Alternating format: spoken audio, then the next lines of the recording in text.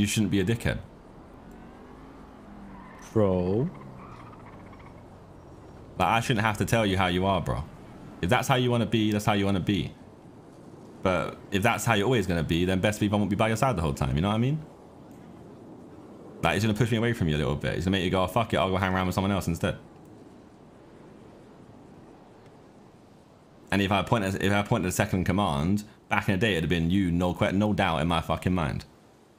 But then the more you act up, the more I'm like, hmm, I don't think this guy's ready.